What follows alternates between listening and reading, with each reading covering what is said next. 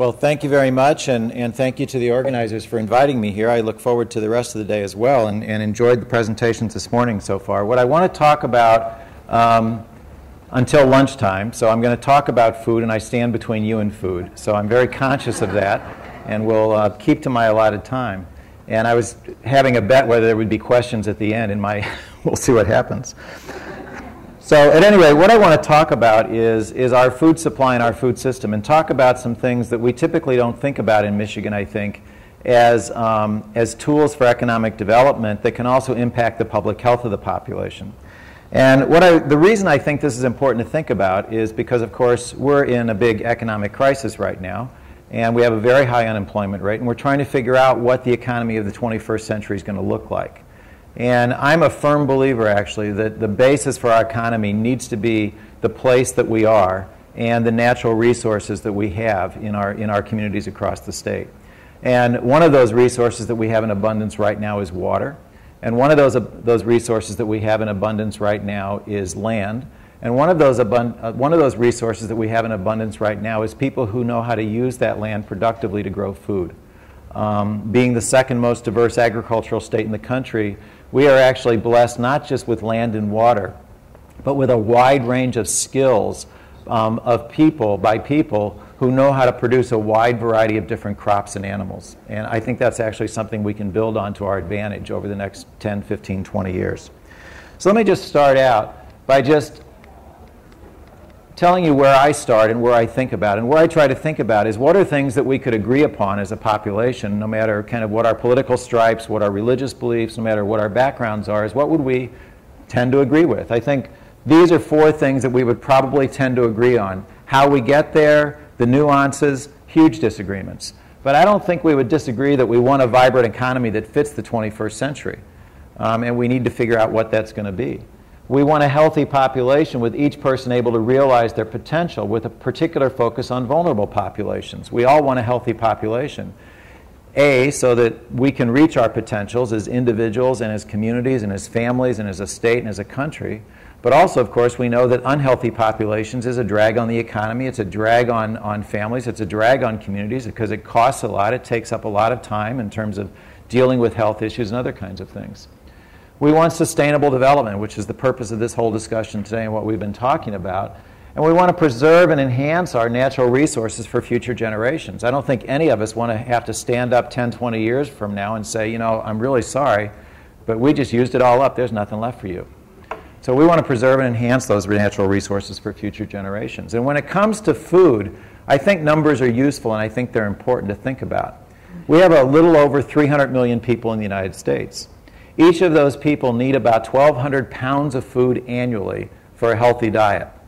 That doesn't count coffee, tea, alcohol, added sugar, added oils, kind of the non nutritive liquids and, and sweeteners um, and fats that we add to our diet. That's just the, the rest of the food guide pyramid 1,200 pounds a year. So for 300 million people, we need 360 billion pounds of food. Michigan has 10 million people, so we need about 12 billion pounds of food a year. So when we start talking about sustainable development and, and sustainable agriculture and sustainable food systems and all that, it's not a small amount of food that we're talking about. Now, one of the things that we can say is, is that, and what we increasingly do, is we source that food from all over the world. We have a global food supply. And our food different numbers, but a reasonable estimate is, is that the average uh, forkful of food that you eat travels about 1,500 miles from the field to your mouth. Um, fruits and vegetables actually travel further and further and further because we continually, um, in, we continually increase our sourcing from non-domestic sources for fruits and vegetables. So one of the solutions that we could say we're going to do is just continue on the path that we're doing and continue to get our food from more and more non-domestic sources, more and more globally, and the food's there, so let's just keep buying it. Okay? Well, one of the things to keep track of is, is that the population is continuing to increase. So the national population is slated to go from about 300 million to about 420 million by 2050. The global population may hit 9.1 billion. We may add another 2.5 billion people to the world. Now, 2.5 billion people need something over 3 trillion pounds of food more a year. So what that means is, is that as we increase this global sourcing and this globalization of the food supply, there's an ever increasing population that needs an ever increasing amount of food, which means there's going to be an ever increasing competition for that food and an ever increasing need to produce more food for everybody to have a diet. That's occurring in a world that's becoming increasingly scarce for fresh water. So 48 countries in the world right now are classified as either water scarce, water scarce or water stressed. That is, they have insufficient freshwater resources to meet the daily needs of their population. Okay? Many of these countries are places that we're increasingly sourcing food from. And those are places that are also continually increasing their own populations. So what does that mean? We have an increasing uh, scarcity of fresh water. We have an increasing need for food in places where food is being exported from and we're importing it from. And there's going to be an increasing competition for that food. One guess out there is, is that when we quit fighting globally over oil, we'll start fighting more and more over water. And in fact, there's those that prognosticate that water will be the next great, um, the next great conflicts will arise over water. And in some parts of the world, we're already there. We're also slated to have another um, six countries or so be classified as water stressed or water scarce over the next 30 or 40 years. So, what does this mean? This means that where we're currently increasingly getting our food from and where our food is being distributed and transported from and to us is potentially an increasing source of conflict and an increasingly unstable source down the road. Okay? So, one solution is to say, well, let's bring it back home. Let's let's re-domesticate our food supply, in essence, and get it from national sources from across the United States. Well, right now, we get 50% of our domestic fresh fruits and vegetables from California. Okay. That, and so we can just say, whoops, it's not where I wanted to go. There's supposed to be another bullet there. So what we could be doing is just saying, let's get it from there. But if we look at California, and in fact look across the country, all the red areas of, on that map of the United States are areas that the American Farmland Trust has classified as areas of highly productive farmland that are under high threat of development. Almost all of that red in California is places that currently produce most of the fruits and vegetables that come out of there. You can see the same thing in Michigan. Places that you'll notice that are very highly productive in terms of fruits and vegetables in Michigan are also under threat of development. Right now, that threat is reduced because the economy and because of the lack of development. But as the economy recovers, we can anticipate that that development will start to recover as well. In fact, they estimate that about 86% of our current domestic production of fruits and vegetables comes out of um, threatened areas, areas of, under high pressure. Now, that is coupled with public health issues. From a public health standpoint, a study was done by USDA a while back that said, okay, let's say that everybody woke up tomorrow and started eating a healthy diet. With respect to fruits and vegetables, that would mean about a doubling of the consumption in the United States. Three things would happen at that point. There'd be a run on the supermarkets, and that section of fresh produce would be empty. Second thing that would happen is every nutritionist in the country would faint. And the third thing that would happen is we'd find out that we're about 13 million acres short of production.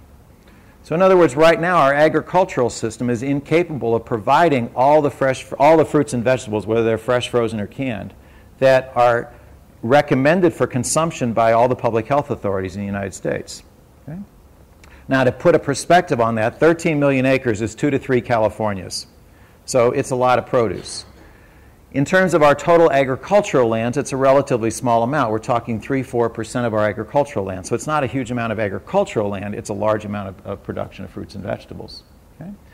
And as I said, where we get it right now is California. So we could think about let's increase that production in California. Well, keep track of, of this. California right now has about 36 million people. Demographic projections say they're going to grow to about 50 million people by 2050. 14 million people that need land, that need roads, that need places to work, and those businesses take up land, and that need fresh water. And right now, California is in a drought. The Central Valley of California this summer is producing about 800,000 acres less crops than they did several years ago because there's insufficient water. We can anticipate that as population increases in California, there will be increasing competition for fresh water. Agriculture typically loses in those scenarios. Climate change projections indicate that if we're at all close to where we think we're going with climate change, that the snowpack runoff that's irrigating almost all of that fruit and vegetable acreage in California could decline by 70% in the next 30 to 40 years. So, decline of freshwater resources because of a decline of snowpack runoff, increasing population taking up both land and water, what we probably can anticipate is a decline of agricultural production in California over the next 30 or 40 years. So, where we get half of our production of fresh fruits and vegetables today, when my, my 11 year old daughter is my age, probably is not going to be there. So, where's she going to get her food? Well, that actually provides an opportunity. And that opportunity is to, is to move more forcefully in a direction which a lot of a lot of is happening already on right now and that is is to think about dispersing that agricultural production across the country many people think about that as local food systems. People think about that as going to farmers markets as doing all these things to buy michigan to buy indiana to buy illinois to buy wherever you're living at the time okay? we can also think about that as national security. If we don't have a solid food supply what do we have? We, i think we all like to eat every day and i bet you all want to eat at noon. Um, and so, one of the things that we can think about is the opportunity that's endemic in thinking about sustainability and thinking about the future, in not thinking about destroying the global food supply and saying, well, we shouldn't just import anything. We need a global food supply, we need a national domestic food supply.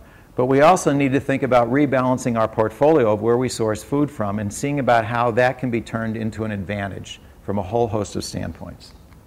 Okay? So what we think about is, is that what we need to re-engage is locally integrated food systems. That is, food systems in communities across the state and across the country that are a dynamic blend of locally sourced and regionally sourced, nationally sourced, and globally sourced. And we think about it in this way with the criteria for local is that if we can get it from local sources, why don't we do that? Why don't we think about how that can be an advantage in our communities and, and, an economic development tool, a public health promotion tool, an educational tool, a land preservation tool, a tool for all kinds of things in our community? If we can't do that, and there's things that we want in that food, whether it's organic or whether it's local or low pesticide use and IPM and all that kind of stuff, let's make sure that when we're getting it from other places, it's got those same characteristics in it. And, it's, and if it's from outside, then are those, can we, do we know that those characteristics are there? Okay?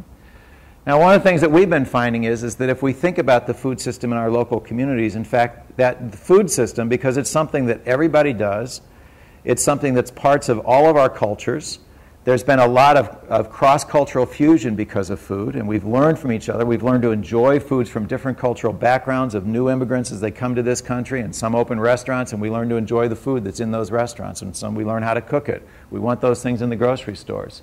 But we find that that food system then becomes a tool for approaching all kinds of problems in the community. And we find that if we have an emphasis on access and equity and sustainability and relationships, and getting things as local as feasible um, through sustainable use of our local resources, it's actually a tool for bringing the community together. Okay?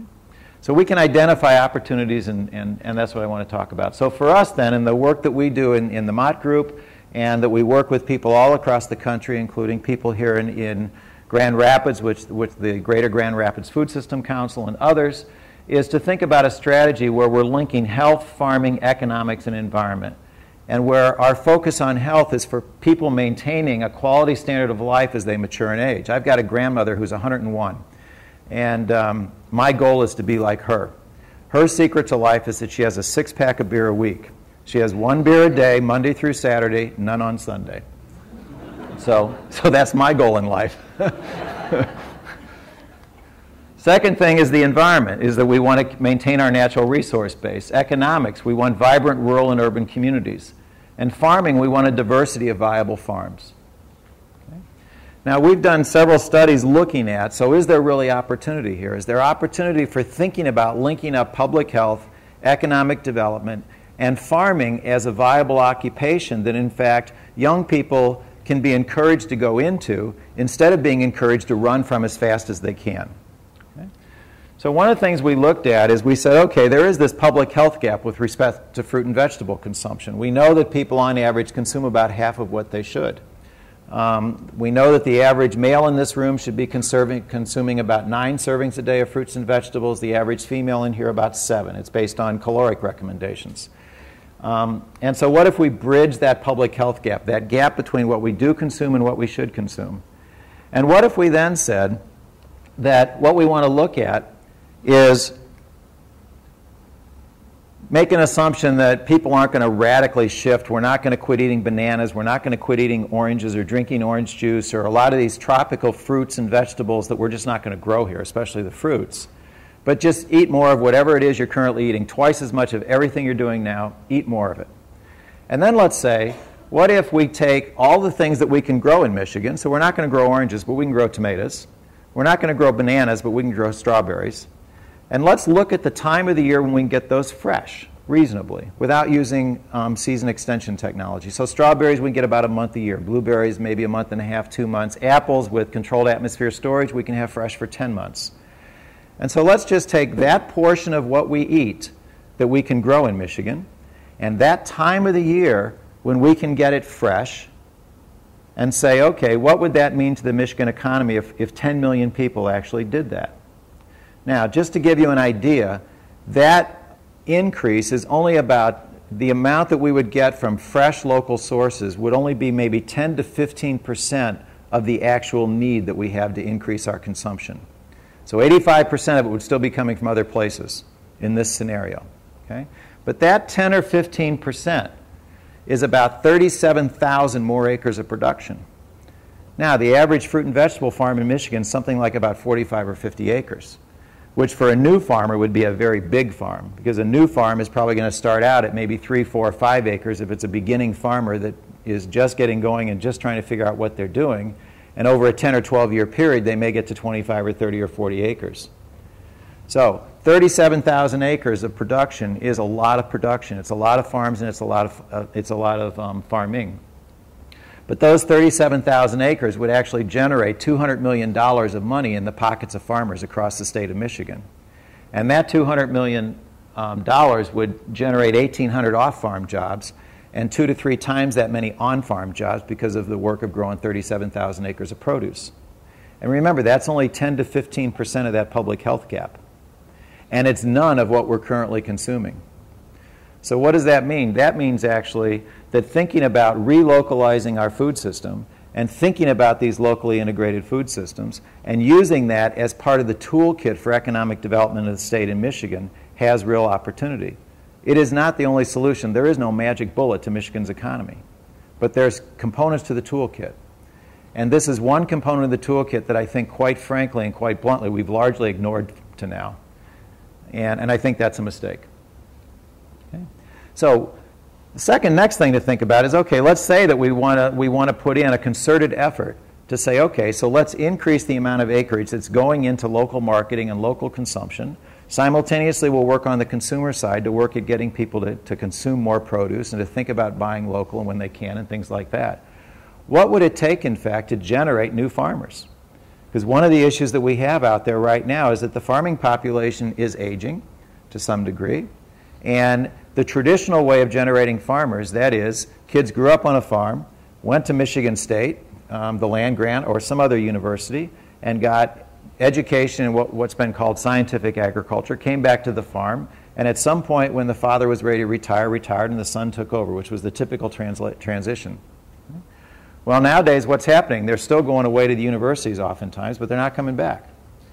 And so that way of generating farmers is largely broken. There's still some of that, and there's some important opportunities out there that, that young people in high school now that are in from farm families are taking advantage of with FFA and some other things to learn about new opportunities in agriculture. But that's not going to generate the types of farms, the numbers of farms that you, you might think about in terms of, of a toolkit for building the new economy. So one of the things we need to think about is so how would we go about training new cohorts of people that want to farm? And I'll get to a second in who those cohorts might be because there's groups out there that actually provide interesting opportunities. Well, one is training. Okay? One is training. People need to learn how to produce in ways that can, that can produce for these kinds of markets, in the kinds of ways that people want to get their food from, and et cetera, et cetera. So, for example, at MSU, there's the two year organic farming certificate program, which brings people in in January, has a year of on campus um, classroom and, and experiential learning in which they learn how to produce organic fruits and vegetables year round in unheated hoop houses and outside. And we need more of those kinds of things across the, across the state. The second thing is to remember that these farms are, in fact, businesses. And no matter how much it's nice to be able to grow things, if you want to grow it commercially, it is in fact a business. And figuring out what your market's going to be and, and how much can you make out of a 3,000 square foot hoop house and et cetera, et cetera, is an important thing to do. So building that as a business is an important thing to do. Many people who are coming out who want to go into farming now don't have a land base in their family background that they can draw on. They're not coming from a farm family. So how do these people access land?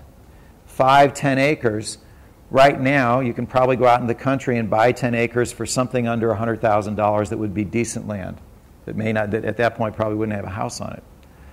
$100,000 is still a lot of money for somebody who's just coming out of college, or someone whose second career who just got unemployed, or someone who's a new immigrant to this country. So, figuring out ways that people can get access to land so that they can go about the business of growing food and building a business that can support their families while providing good, healthy food to people in Michigan is an important piece of this. While also recognizing that historically, land has been the retirement package for farmers. And so you talk about farmers being cash poor and land rich.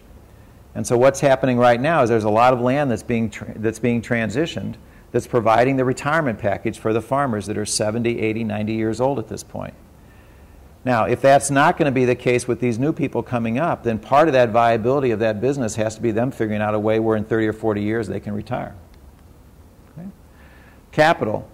Susan Cocciarelli in our group right now is doing a, a research project with lenders to look at what it would take for them to look at these kinds of things as lending opportunities. One of the biggest issues that beginning small farmers start to identify um, as a problem for them is access to credit.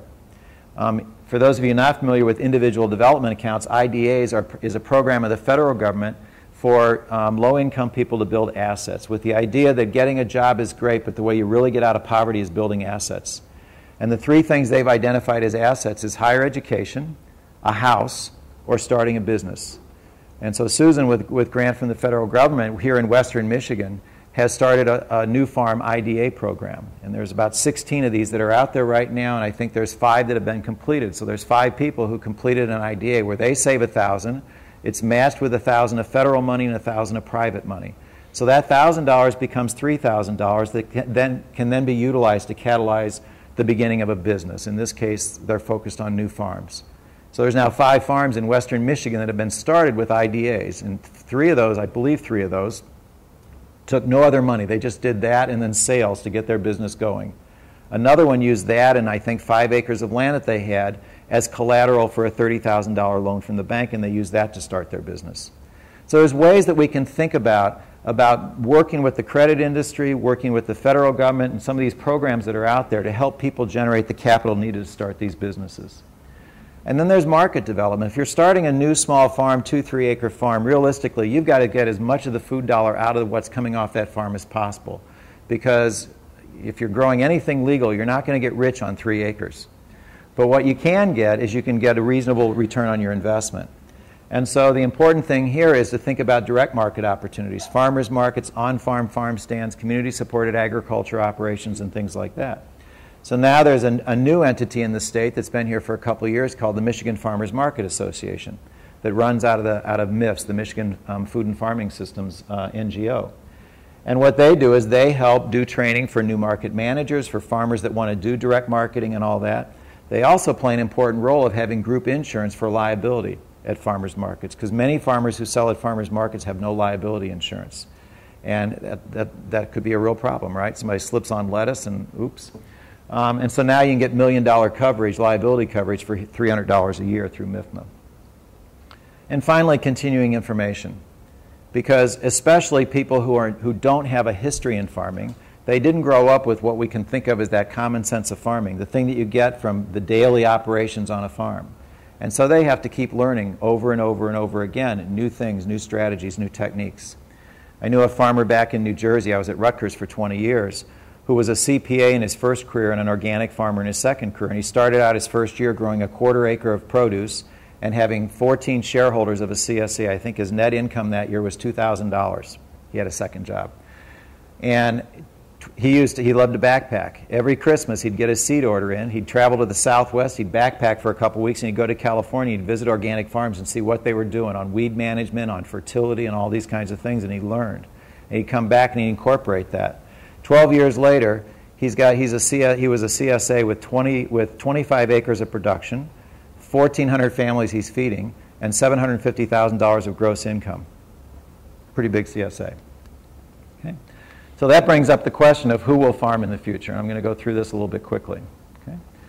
And I actually think that there's three groups of people that are the farmers of the future. And, and one of the things that we have to confront, I think, in, in my opinion at least, as a society and as a state, is are we going to develop the programs that will help these people move into farming and providing food for us on a daily and a yearly basis in a way that doesn't guarantee their success, because that's not what we do in this country, but in a way that provides the opportunities for success.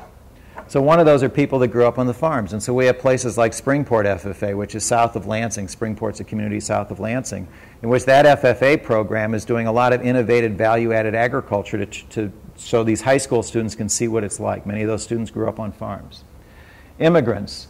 There are a lot of immigrant populations, whether they're refugee or whether they're migrant farm workers, however they came to this country, many of them have farming backgrounds. Many of them make excellent farmers. Hispanic farmers is the fastest growing group of farmers in, in Michigan today. There's over uh, 1,100 Hispanic farms in Michigan today, and there could be many, many more. In many cases, they need to learn what, what is different about farming in the United States compared to their home country.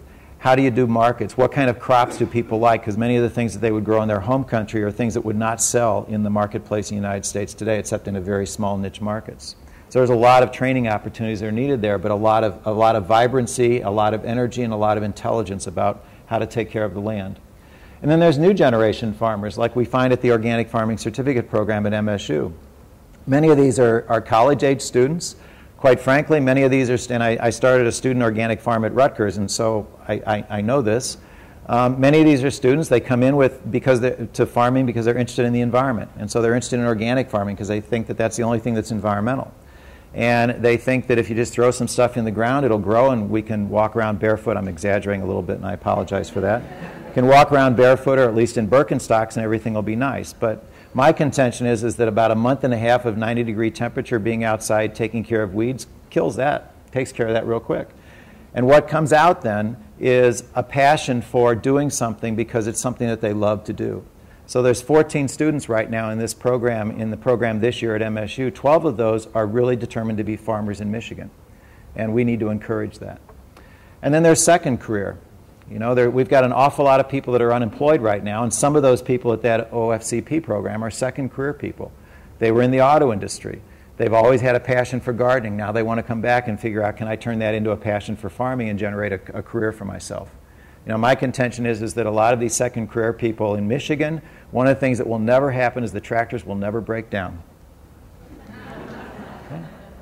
Now, that said, we are seasonally challenged in Michigan. We have a relatively short growing season. And I think this is going to be classified as the summer that never was because my tomatoes still don't have any tomatoes on them outside because it's been so cool. Well, one of the things that we know we can do now is that we can extend the season, and we can extend the season sustainably and in an environmentally friendly way. This looks like a greenhouse, and it is a greenhouse, except for one thing. There's no fossil fuel energy going into that, except for some electricity for a blower, um, for an electric fan. Because there's no propane, there's no oil, there's no heat in this thing. The only heat in this is what the sun is what's captured from the sun. These are unheated hoop houses. In those unheated hoop houses in Michigan, we know from research of John Biernbaum at MSU and others there and others across the country that we can grow about 30 different crops inside those unheated hoop houses 12 months a year. They generate fresh produce for their uh, CSA members 48 weeks a year. The four weeks they take off are because the students are gone, not because there's no crop in the ground. And so there's three layers of plastic there. What those plants see is basically St. Louis, Missouri, in the middle of, right now it's St. Louis, Missouri in there, which is my hometown. Um, and so what we know is, is that we can put these things up we can generate some, a good farmer can generate probably $8,000 a year of gross income from one of those 3,000 square foot high tunnels, and they can pay themselves back on a gross basis in a couple years if you do it right. These things are now all over the, all over the state. Um, John and Adam Montri have done probably workshops for about 1,500 people around the state. About 1,200 of those are farmers. We've got those sited on 12 farms right now to look at the economics and the production potential of those. Um, and those are all ones that are selling into farmers markets at this point.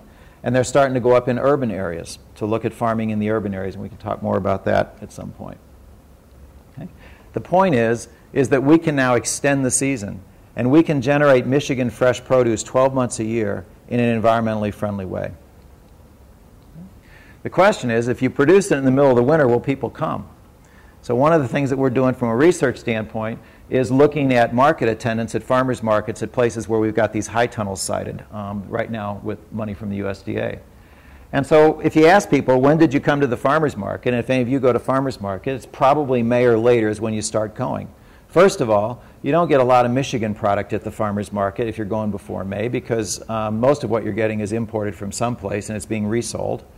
And if you are getting stuff from Michigan, it's not that diverse. Maybe you're getting some broccoli, maybe you're getting some lettuce if you're going in early May.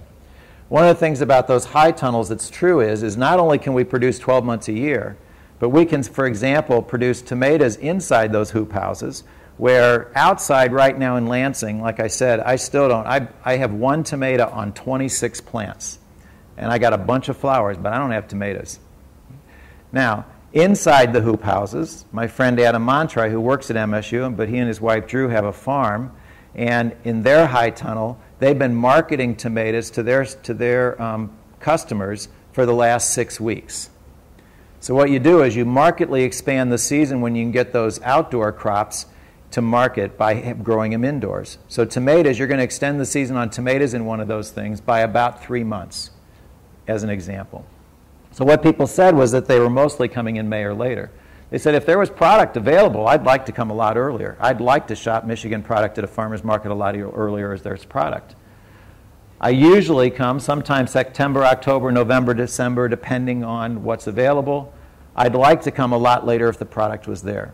So, what does that say to us? Now, this is, of course, intention and not actuality. The actuality would probably be somewhat less than this. But what that says to us, in fact, is that there's a huge opportunity not only to produce on the farm across an extended season, but to market because there's customers willing to buy. So that presents an opportunity, in our opinion. The, the, the other thing that I wanted to mention is that is not to forget that we have a huge disparity in this state and in this country in who purchases fresh fruits and veg- in, in who purchases fruits and vegetables and how much they purchased and that's primarily an economic situation. So the lowest quintile of income in the United States spends about one third as much money per year on fruits and vegetables as the highest quintile. So there's issues there. One of the ways that people are thinking about getting around this, and I'm going to run out of time, so I'm going to go quick here, is um, how can we think about expanding the ability of food stamps, now called SNAP, Supplemental Nutrition Assistance Program? How can we expand the possibility for those to for those stamps to be used to purchase fresh fruits and vegetables. So there's a program out there that's being tried in the philanthropic world right now. It started in Connecticut with a foundation connected with Robert Redford um, and others to basically match EBT expenditures with philanthropic funds when it's used to purchase fresh fruits and vegetables at a farmer's market. So somebody with EBT goes to a farmer's market in Detroit, they spend $10, they spend $20 on produce there's actually only $10 deducted from their EBT card. The farmer gets $20, but $10 of that's coming from philanthropic money and $10 of it's coming from the EBT card. So you can essentially double the purchasing power at farmers markets. And so several things now that are in the works in Michigan is um, how would we think about increasing a network of corner markets, farmers markets, and youth farm stands, which I'll talk about in just a second. So, for example, there's work in Detroit with the Detroit Economic Growth Corporation. There's work by the Michigan Farmers Market Association. There's work by the Eastern Market in Detroit to think about how to extend the capacity to source fresh produce from Michigan farmers at, at markets inside um, underserved areas. Um, part of the issue there is that many farmers markets are not EBT accessible um, because of the fact that it's like a credit card. So there are program, there's a program that we're trying to get developed out there to make all the farmers markets that want to be EBT accessible be accessible. And there's some great models out there across the state and across the country of doing just that.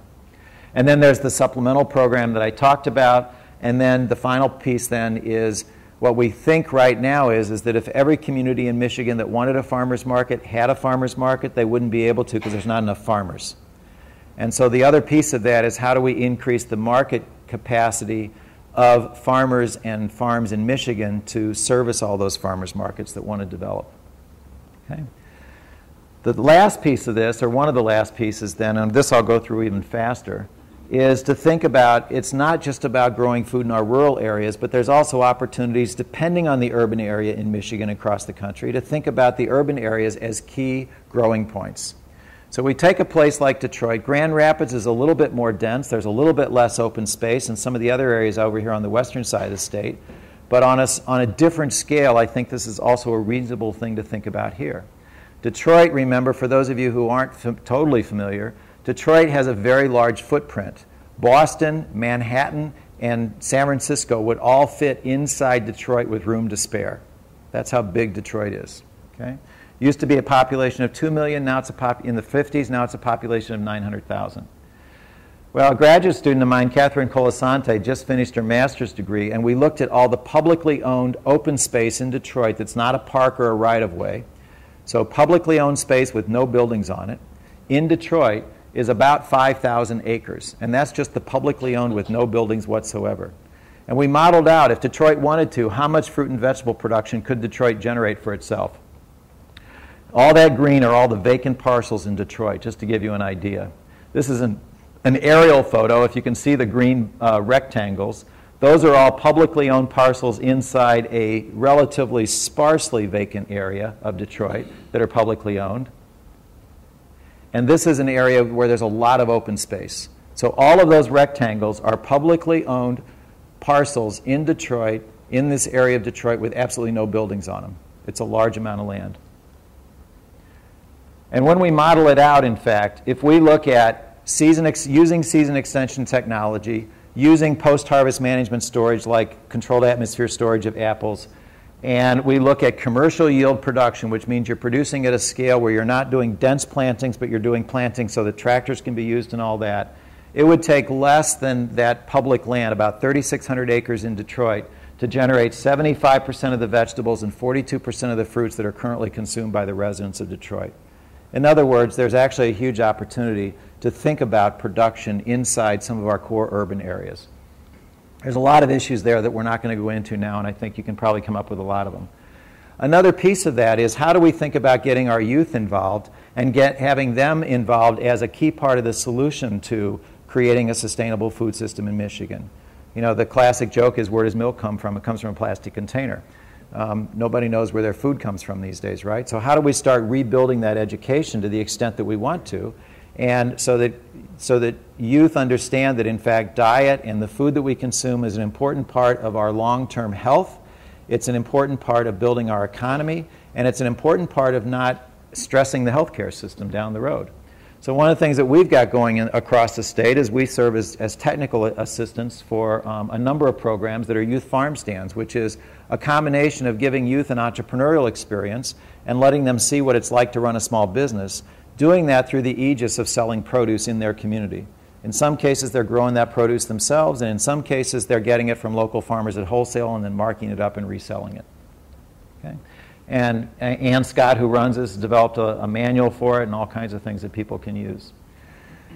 When we get beyond kind of these direct market venues, the other thing to think about is, is there's also a lot of opportunities with institutional markets. Probably the hottest thing right now nationally is farm to school programs. That is getting local agricultural products into the K through 12 and increasingly into the university and, and college school food services. Okay. This is a survey we did five years ago. We're getting ready to redo it this fall and see what the five year update is.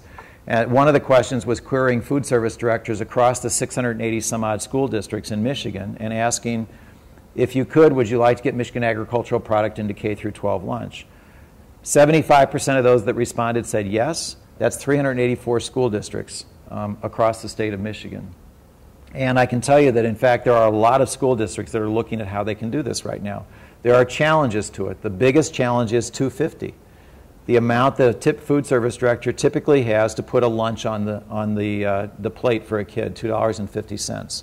About 40 to 60 percent of which is taken up by labor and infrastructure costs. So the average food service director has about a dollar to buy the food which I don't know if any of you have ever tried to put a good lunch on your plate for a dollar's worth of food. It's very hard to do.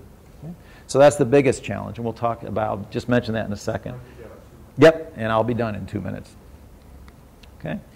In fact, I might be done in one. So, with that in mind, then, I actually think that there's a lot of things that we can do from a policy standpoint that, as a starting point, don't cost the state or local governments anything unless they want it to. And longer range may be a matter of deciding what are our priorities going to be.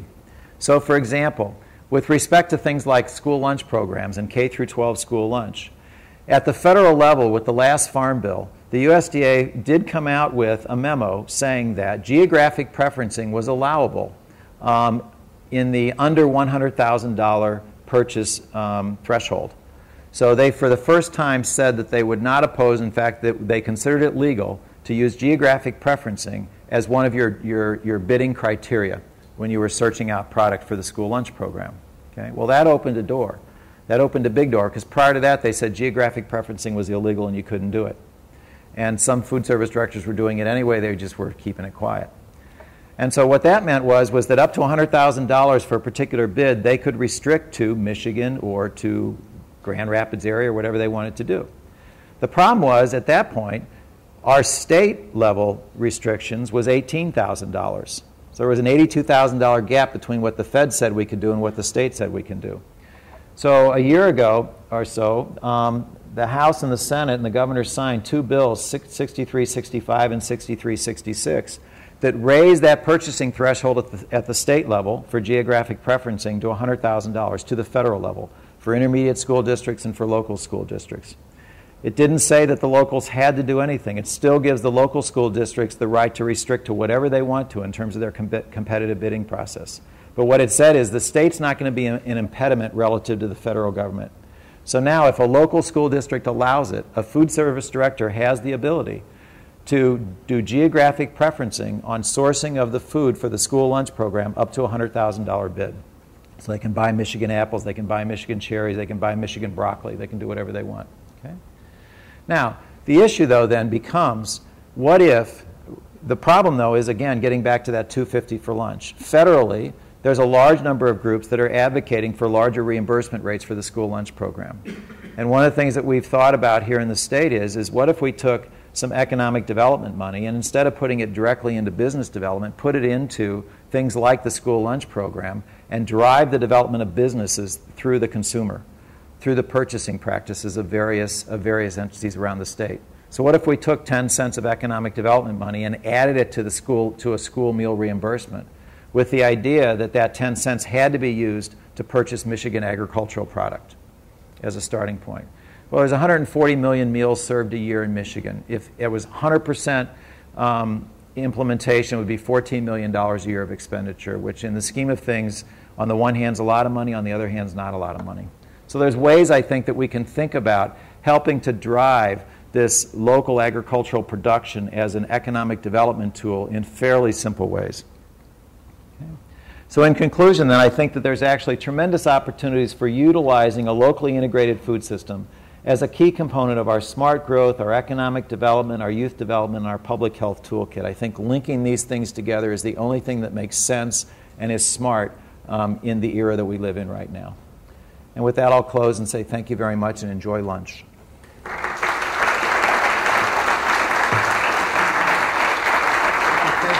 Good. You're welcome.